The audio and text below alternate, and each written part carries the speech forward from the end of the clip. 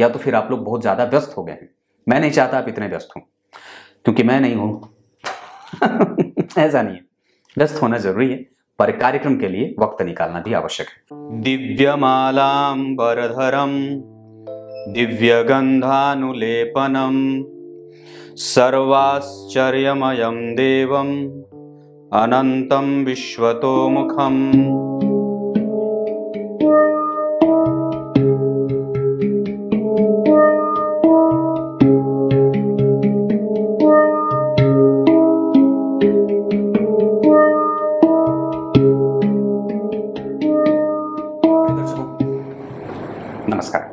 एक बार फिर से उपस्थित हूँ आप सबके सामने। मंगलवार के बाद, बुधवार के कार्यक्रम में राहु की दशा ऐसी होती है जो व्यक्ति को कई बार बहुत ही ज़्यादा परेशान और बहुत सारी चीज़ें दे देने वाली होती। मैंने खुद भी अभी इस पर बहुत सारे कार्यक्रम पहले भी बना रखे हैं। ज़रूर ही आप लोगों को वो प्लेलिस्ट चेक कर लेना चाहिए जिसमें मैंने राहु के बारे में बहुत सारी चीज़ें बता रखी ये उनमें से एक है और अलग है। आइए आज नज़दीक नज़दीक से और निकट से राहु की दशा को समझने का प्रयास करेंगे जिसमें महर्षि पाराशर ने राहु की दशा को तीन चरणों में विभाजित करके उसको जातक के जीवन पे कैसे वो काम करता है उसके बारे में बताने का प्रयास किया। सबसे पहले एक बड़ा ही अच्छा सा श्लोक है बड़ा सुंदर मधुर सा वो मैं आपके सामने भी पढ़ूँगा। अभी दो श्लोक हैं जो राहु की दशा के लिए बड़े ही माननीय हैं। जैसे एक श्लोक बड़ा परिचित है आ, ऐसे है वो विद्या विहीन बुद्ध्या विहीनमति विभ्रम सर्वशून्यम विश्वम भयाति विषमापति मृत्यु तुल्यम व्याधिर्वियोग धनहानि विषानि चैव। राहोर दशा मृत जीव ऐसे करके दूसरा श्लोक है, एक यहाँ लिखा हुआ है। दशादौ दुखम आपनोति दशा मध्य सुखम यश। दशांते पुत्र दशांते स्थान नाशम च गुरुपुत्रादिनाशनम। विनश्येत दार पुत्राणाम भोजनम। दशादौ देह पीड़ा च धन धान्य विनाशकृत दशांते कष्टमापनोति। स्थान भ्रंशो मनोव्यथा। अब इस चीज़ को थोड़ा नज़दीक से समझने का प्रयास करते हैं। जैसे दोनों ही श्लोक जो दिए गए हैं या लिए गए उसमें इतनी सी बात बताई गई है कि आप राहु को कैसे रिलेट करते हैं अपने आप से। जैसे इसको समझ समझाने के लिए मैं आप लोगों को एक उदाहरण देता हूँ। जैसे किसी भी व्यक्ति के जीवन में आप जब देखेंगे तो एक वक्त होता है जहाँ वो बहुत ऊंचाई पे होता है। फिर उसके बाद वो कुछ दिन उस चीज़ को मेंटेन करता है, फिर उसके बाद वो नीचे आना शुरू हो जाता है। जैसे एक मछली छोटी होती है, फिर वो बड़ी होती है, फिर उसके बाद मृत्यु को प्राप्त हो जाती है। जैसे एक व्यक्ति जो जन्म लेता है, फिर उसके बाद वो किशोरावस्था को प्राप्त करता है, फिर उसके बाद अधेड़ होता है और फिर नीचे नीचे जरा अवस्था को मतलब वृद्धावस्था को प्राप्त कर जाता है। बड़े निकट से समझिएगा इस चीज़ को, और बहुत ही सामने से मैं बता देता हूँ। राहु की दशा को पाराशर ऋषि ने तीन चरणों में विभाजित करने का काम किया। मतलब उन्होंने ये बात बताई कि किसी भी दशा को, मैंने इस पे एक अलग कार्यक्रम बना रखा था, जिसमें आप लोगों को ये बात बताई थी कि किसी भी दशा काल को, चाहे वो किसी भी ग्रह की दशा, शनि, मंगल, राहु, केतु, सूर्य चंद्रमा, कोई भी, किसी भी दशा को आप तीन चरणों में विभाजित करिए। चाहे वो शनि की दशा हो, चाहे वो राहु की दशा हो, चाहे वो मंगल की दशा हो, चाहे वो सूर्य की दशा हो, किसी को भी तीन भाग में विभाजित करना है, प्रथम, मध्य और अंत। और उसके बाद वो कैसे कैसे परिणाम करते हैं, उसका अलग से स्टडी करना होता है। राहु की दशा में इस श्लोक में, जो मैंने संपूर्ण पहले श्लोक में बताया बुद्धिया विहीन वाली में, कि उस दशा काल में व्यक्ति जो है, वो संपूर्ण राहु की दशा को वहाँ पे इस तरीके से परिभाषित किया गया कि वहाँ पे व्यक्ति की बुद्धि भ्रमित होती है, स्वास्थ्य से संबंधित समस्या होती है, विकलता बढ़ती है, धन की हानि होती है इधर उधर बेवजह की यात्राएँ करनी पड़ती हैं, मन कुत्सित होता है, विचारों में उद्विग्नता होती है, घर परिवार के लोगों से वैराग्य होता है, दूर जाना पड़ता है, स्थान की हानि होती है, घर परिवार छूट जाता है, किसी अप्रिय घटना का संकेत और घटना का घटना हो जा घटित हो जाए आदि आदि, जितनी भी बुरी चीज़ें हैं जोड़ सकते उसके बाद दूसरे श्लोक में जो मैंने पढ़ा, उसमें भी यही बात कही गई है। दरअसल वहाँ पे चरणों के हिसाब से बात की गई है कि पहले चरण में, दूसरे चरण में और तीसरे चरण में। मतलब जब आप पहले चरण की बात करेंगे तो पहले चरण में अगर 18 वर्ष की राहु की दशा है तो आरंभ के छह वर्ष आपको कष्ट देने वाले होते हैं। मतलब वो परेशान कर दे एकदम। जैसे आते ही, आरंभ में ही आपसे किसी प्रिय वस्तु का हनन हो जाता है। धन की पिता माता आदि पति पत्नी पुत्र आदि, इन सब चीज़ों का नुकसान होता है। आते ही राहु अपना काम शुरू करते हैं। मध्य के काल में वो आपको शांत करते हैं, जहाँ आपको वो पेशेंस देते हैं और आपको फिर से वापस वो धन देना चाहते हैं। वो आपको गेन कराते हैं, वो आपको धन की प्राप्ति कराते हैं। हो सकता है कि जो चीज़ें आपने रेगुलर बेस पे नुकसान में किया था, उसको वो वापस भरपाई कराने का प्रयास करते हैं, जहाँ थोड़े से अपने आप को फिर से रीबिल्ड करते हैं, बनाते हैं रीऑर्गेनाइज करते हैं रिवाइव करते हैं। ये दशा का प्रभाव होता है, मध्य की दशा में मतलब आरंभ के छः वर्ष में सब ले लिया, नुकसान कराया। और मध्य के छः वर्ष की दशा में वो कष्ट देते थे जो अब उसकी वो भरपाई करते हैं मतलब अब वो ठीक होते हैं। नेचर ऐसा होता है, ये ऐसा उनका नेचर होता है। अंतिम दशा में वो वापस जो देते हैं बीच की दशा में, वापस खींच के लेके चले जाते हैं। मतलब लेना का देना और देना का लेना, ये चीज़ें हो जाती हैं। अब इसको समझने का प्रयास करते हैं कि आखिर ऐसा क्यों होता है? तो ये जो दशा का फल है, वो इस बात पे निर्भर करेगी बात कि आपकी कुंडली में राहु बैठे कैसे हैं। मतलब वो अगर यहाँ चतुर्थ, सप्तम और दशम में या पंचम या नवम में या फिर वो जिस भाव में बैठे हैं, उस भाव के अधिपति के साथ बैठे हों, या फिर उस भाव के अधिपति उसको दृष्ट करते हो मतलब देखते हो। तब राहु की दशा आपके जीवन में इतनी ज़्यादा विकलता नहीं देने वाली होती और संपूर्णतया आपके लाभ के लिए जानी जाती है। पर फिर भी पापक ग्रहों का नेचर पापक ज़्यादा होता है, और अगर वो बहुत ज़्यादा कष्ट देने वाले हो रहे हैं, यानी कि कष्ट दे रहे हैं तो निश्चित रूप से आपको उनके अध्ययन की आवश्यकता है कि आखिर राहु की दशा आपको मानसिक रूप से कितना प्रताड़ित कर रही है जहाँ आपके दिमाग में इतने सवाल पैदा होते हैं जहाँ आपका दिमाग इतना ज़्यादा विचलित होता है इतना ज़्यादा विकल होता है इतना हतप्रभ होता है इतना ज़्यादा डरा हुआ होता है इतनी ज़्यादा नुकसान की स्थिति को आ, सोच करके हो या ना हो अलग बात है पर वो उसके दिमाग में थॉट क्रिएट होते हैं और इन सभी मामलों में राहु बड़े परेशान करने वाले हो जाते हैं। तो दशा के आरंभ में क्या होता है? नुकसान होता है। अब जैसे कोई बात, यहाँ पे ये बात भी दिखती है। मान लीजिए किसी व्यक्ति के जीवन में राहु की दशा आए ही नहीं। होता है? कई बार आपके जीवन में कभी राहु की दशा आए ही नहीं। तो ऐसी स्थिति में राहु का अंतर भी अगर आए तो राहु का अंतर भी आपको इन्हीं तरीके, इसी तरीके का परिणाम देता है। मतलब आप जब इसको समझने का प्रयास करेंगे तो राहु के अंतर में भी यही तरीके का, इसी तरीके का परिणाम आपको मिलने मिलने वाला होता है। जैसे आरंभ में ही वो आए तो आपके पिता से आपका विच्छेद करा दे, उनके स्वास्थ्य से संबंधित समस्या हो जाए, पुत्र के संबंध में परेशानियाँ बनती हैं, पत्नी का स्वास्थ्य खराब हो, पत्नी से संबंधित बी लगाव की स्थिति होती है, उनसे विच्छेद का कारण बनता है, दाम्पत्य नुकसान में जाता है, बुद्धि भ्रमित होती है। अब एक बात आपको और भी बड़ी अच्छी बात बताऊँ, जो मैंने इसको बहुत ही गहराई से समझने का प्रयास किया है। जिस व्यक्ति के ऊपर से राहु की दशा चलेगी, उस व्यक्ति को आप चाहे कितनी भी अच्छी बात बताएँगे ना, उसको वो अच्छी लगेगी नहीं। नहीं लगेगी। आप, राहु जो है वो ऐसा उसके दिमाग में भ्रम पैदा कर देता है कि उसको बताई जाने वाली हर एक अच्छी बात बुरी लगती है। और दूसरे नंबर पे, उसके साथ जितनी भी चीज़ें होती हैं जो सामने वाला या आसपास के लोग जितने भी बैठे हैं, अगर उसको कुछ अच्छी बातें बताएँगे तो उसको ऐसा लगेगा कि ये सामने वाला मुझे चीट कर रहा है, या मुझे नुकसान पहुंचाना चाहता है, या फिर ये मेरा शुभ चिंतक नहीं है।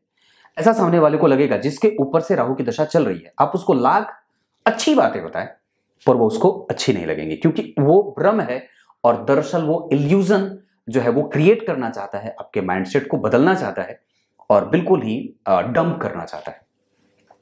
इसके बाद आप अगर और भी नज़दीक से राहु को समझे तो मध्य की दशा में ये आपको रीबिल्ड करते हैं। फिर से आपको वो रिफर्विश करते हैं, बनाते हैं अच्छा बनाते हैं, पूरा अचानक से एक बार में दे देते हैं। कि चलो ठीक है, आपने अपने पिता का नुकसान झेला है, आपने अपने माता का नुकसान झेला है, आप अपने पत्नी का नुकसान झेला हुआ है, आपने अपने बच्चे को खोया है तो ये ले लो, ये सब चीज़ें। अब मैं यहाँ पे आपको ये भी कहना चाहूँगा कि कई बार तो आप ये भी नहीं महसूस कर पाते या सोच नहीं पाते मैं खुश हूँ या नाराज़ रहूँ। अपने जो चीज़ आपको मिले हुए हैं, उसकी खुशी मनाऊं या फिर रो लूँ। क्योंकि यही वो 18 वर्ष की दशा होती है, जहाँ आरंभ में आप आप अपने सबसे निकटतम व्यक्ति को खो चुके होते हैं, मध्य की दशा में आपको फिर से वो रिकॉग्निशन मिलती है। और फिर वापस से आपको वो, फिर से वो गर्त में ले जाकर के डुबा देता है, जहाँ आपके पास कोई भी नहीं होता है। इस दशा काल को समझने का संपूर्णतया जो आईना है, वो ऐसा ही होता है। मतलब राहु की दशा आरंभ के छह वर्ष, मध्य के छह वर्ष और अंतिम के छह वर्ष।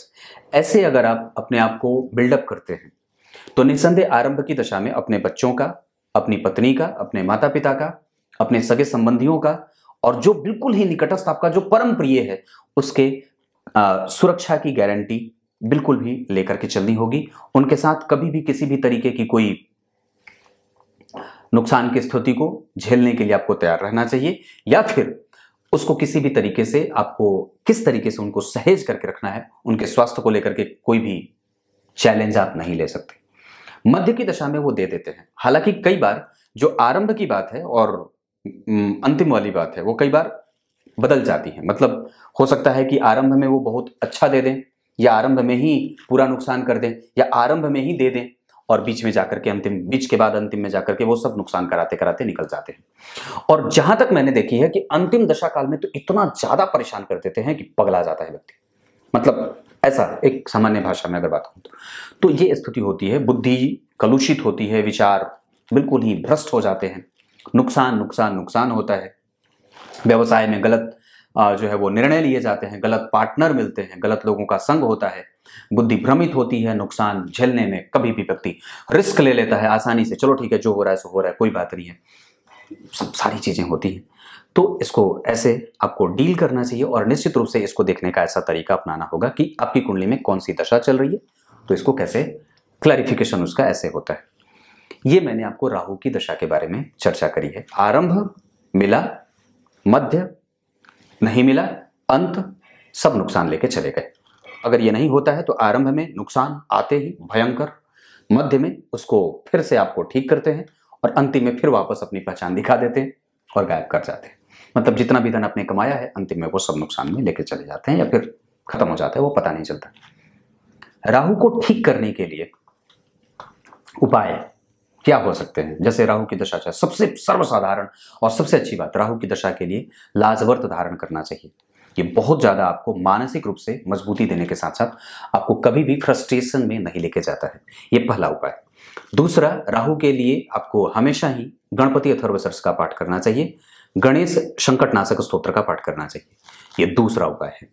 तीसरे नंबर पे आपको अपने आत्मबल को मज़बूत बनाने के लिए सूर्य के अर्घ, तांबे का पात्र हो, जिसमें कम से कम एक पुष्प की माला हो, कनेर की पुष्प, और उसमें भगवान को अर्घ दिया जाए, और अर्घ के बाद भगवान सूर्य की आराधना करी जाए, ताकि आपका जो मन है, वो कभी भी कमज़ोर ना क्योंकि मन ही सबसे ज़्यादा राहु से प्रभावित होता है। मानसिक विकलता ज़्यादा होती है, और मन अगर परेशान रहा तो चंद्रमा की स्थिति खराब रही, तब तो और भी ज़्यादा ये बुरी बात हो जाती है। ये तीसरा उपाय राहु को ठीक करने के लिए। चौथा, चतुर्थी का व्रत बहुत ज़्यादा लाभदायक होता है, जहाँ आपको धन धान्य से संबंधित जितनी भी समस्याएँ होती हैं, उसका वो फिर से वापस जो है वो पुनरागमन कराते हैं गणेश जी की कृपा से। बहुत ही अच्छी बात होती है और गणेश जी जो होते हैं वो, उनकी लाठी जहाँ गड़ जाती है, वहाँ भगवान नारायण भी कुछ नहीं कर पाते, सरेंडर बोल जाते हैं। ये चौथा उपाय चतुर्थी का व्रत। पांचवा, आपको अपने पूर्वजों को, अपने जो जो आपके पूर्वज हैं, उनकी आराधना करनी चाहिए, उनको दीप दान करना चाहिए भगवान शिव के मंदिर में जाकर के दही, दूध और मंदिर धोने का काम करना चाहिए। इससे अच्छा राहु का उपाय कुछ भी नहीं हो सकता। इससे अच्छा राहु का उपाय कुछ नहीं हो सकता। रत्न मिल गया, भगवान शिव की पूजा हो गई, गाय माता की सेवा हो गई, इसके अतिरिक्त और भी कुछ नहीं है। अगर बाकी की चीज़ें हैं तो वो ऐसी वैसी हो जाती, हो सकता है इधर उधर से हो जाए। पर इससे ज़्यादा अच्छा राहु को आपको ठीक करने का बढ़िया उपाय नहीं मिल सकता है। ये वैदिकीय उपाय है, जो वास्तव में है। अगर आप अध्ययन करेंगे तो राहु को गणेश जी की पूजा के द्वारा, माता दुर्गा की उपासना के द्वारा उन्हें ठीक किया जाता है। मंदिर का दर्शन हो जाए, सबसे बढ़िया। प्रत्येक दिन मंदिर का दर्शन नियत समय पे करिए। सूर्य को अर्घ, तांबे के पात्र में कनेर की पुष्प की माला अगर हो सके तो आत्मबल ठीक करना चाहते हैं तो रक्त चंदन की माला धारण कर लीजिए। अगर सूर्य स्थिति में अच्छे हैं तो माणिक्य वगैरह भी धारण कर सकते हैं, पर उसके साथ लाजवर्त अवश्य ही ज़रूरी होगा, या फिर अपने लग्नेश का रत्न भी धारण कर सकते हैं। राहु के अतिरिक्त मतलब वो लाजवर्त के अतिरिक्त। बाकी की चीज़ें तो कुंडली देखने पे पता चलती हैं। तो ये राहु हैं जिनको समझने में बड़ी ही सरलता से मैंने आपको बताने का प्रयास किया है। इसके अतिरिक्त आपको वो प्लेलिस्ट अवश्य ही चेक कर लेना चाहिए, जिसपे मैंने करीब बहुत सारे कार्यक्रम बना रखे हैं। अब आइए गीता जी के श्लोक का अर्थ बता देता हूँ। गीता जी के ग्यारहवें अध्याय के ग्यारहवें श्लोक में भगवान ने बात कही है। बात क्या कही है? अपना दर्शन कराया है। जैसे अनेक भोजाओं के मालिक अस्त्र शस्त्रों से सुसज्जित माला कंठ में मालाएँ उपस्थित है। रक्त चंदन आभूषण अनेक प्रकार के आ, मुकुट और कुंडल से युक्त, भुजाएँ बलिष्ठ, मज़बूत, गदा शंख चक्र, पदम आदि से विभूषित, गले में और हृदय पे विराजमान कौस्तुभ मणि। आप जब भगवान के बारे में उनके संपूर्ण स्वरूप का दर्शन करेंगे या फिर उनके बारे में पढ़ेंगे तो कौस्तुभ मणि से ही भगवान को जाना जाता है कि वही वो मणि मणि है जो साक्षात स्वयं माता लक्ष्मी होती हैं, वो उनके हृदय के पास स्थापित होती हैं। वो कौस्तुभ मणि है। जो सिर्फ़ भगवान नारायण के गले में जो है वो विराजमान रहती तो वो मणि अस्त्र शस्त्रों से सुसज्जित और दिव्य स्वरूप, विशाल स्वरूप, जिसको आप आँख बंद करें और भगवान को अगर छूना चाहें, पकड़ना चाहें, उनको स्मरण करना चाहें तो आपको ऐसे दिखेगा जैसे विराट स्वरूप है, दिव्य बड़े विशाल भुजाओं के मालिक। और जिनको देखने के लिए आपको पूरी ऊँची दृष्टि लगानी पड़े, फिर भी ना दिख पड़े। पर अगर मन साफ़ हो, स्पष्ट हो और बुद्धि अच्छी हो तो निश्चित रूप से छोटे स्वरूप में भी दिख जाते हैं और बड़े ही बाल गोपाल के रूप में भी दिख जाते हैं जो क्रीड़ा करते हुए आपके सामने खेलते हुए भी दिख जाते हैं। निश्चित रूप से उनका स्वरूप किसी एक रूप में नहीं है और अनेक रूपों में अनंत स्वरूप वाले जो ब्रह्मांड का नियंता है जो स्वयं आकर के हमारे बीच में भोजन भी कर लेता है और जूठन भी खा लेता है और क्रीड़ा करके यूँ एक साधारण से क्या बोलते हैं उसको? जो आ, शिकारी के द्वारा मार दिया जाता है और मृत्यु का कारण शिकारी बन जाता है। विचार करिए, जिसने संपूर्ण जो है वो महाभारत में, भागवत में, जिसके बिना इस जीवन की कल्पना भी नहीं करी जा सकती, वो कैसे मारा जाता है? उसकी मृत्यु कैसे हो जाती है? एक साधारण से शिकारी के द्वारा। और वो भी, उसके बाण लगते कहाँ हैं? उनके पैरों में, उनकी जो है वो तल उनके तलवों में उस, उसकी बाण लगती है। हृदय पे लगती तो भी विचारणीय बात होती, पर नहीं, वो तो तलबे में लगी है। तो सोच के देखो कि उनकी लीलाएँ कितनी अजीब हैं, जो बिल्कुल ही साधारण से व्यक्ति के द्वारा उनकी मृत्यु हो जाती है। हालाँकि वो सिर्फ़ लीलाओं की बात है, सिर्फ़ लीला की बात है। अन्यथा ना तो उन्हें कोई मार सकता है और ना तो उन्हें कोई जन्म दे सकता है। कुछ इसी तरीके से आज के कार्यक्रम का समापन करते हैं। तब तक के लिए इजाज़त दीजिए। कार्यक्रम प्रत्येक दिन का देखा करिए। आप लोग नहीं देख रहे हैं और ये अच्छी बात नहीं है, क्योंकि दर्शक इतने सारे हैं और व्यूज़ इतने कम कैसे हो सकते हैं? निश्चित रूप से या तो आप लोगों को नोटिफिकेशन नहीं मिल रहा है, या तो फिर आप लोग बहुत ज़्यादा व्यस्त हो गए हैं। मैं नहीं चाहता आप इतने व्यस्त हों, क्योंकि मैं नहीं हूँ। ऐसा नहीं है। व्यस्त होना ज़रूरी है पर कार्यक्रम के लिए वक्त निकालना भी आवश्यक है। कुछ इसी तरीके से आज के कार्यक्रम का समापन करते हैं। तब तक के लिए कल एक बार फिर से मिलेंगे। तब तक के लिए बहुत बहुत नमस्कार।